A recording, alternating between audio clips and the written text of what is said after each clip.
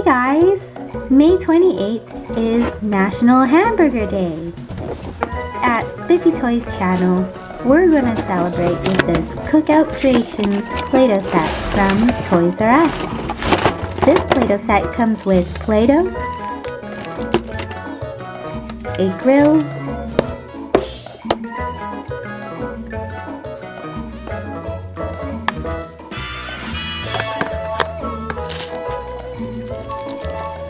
spatula and knife, condiments and cutter,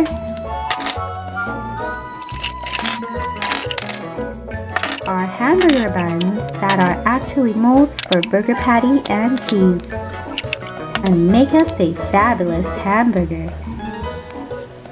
Hamburger is seasoned ground beef grilled and placed between two slices of bread or a bun, topped with sauteed onions, peppers, pickles, sliced onions, or cheese. Add condiments such as ketchup, mustard, or mayo.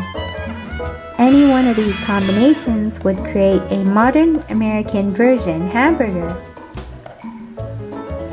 I like lettuce and tomatoes too. It is most likely that the hamburger sandwich first appeared in the 19th or early 20th centuries but there is much controversy over its origins. Over the years, hamburger has become a culinary icon in the United States.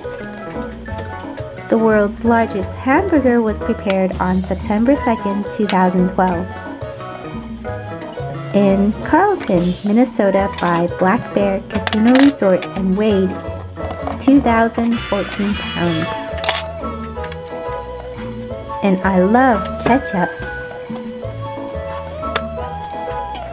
Now let's make a mini hamburger.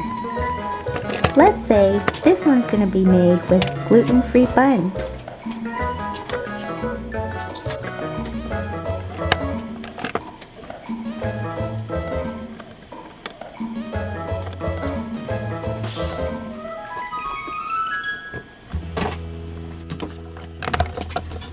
I think carrots are so yummy with hamburgers.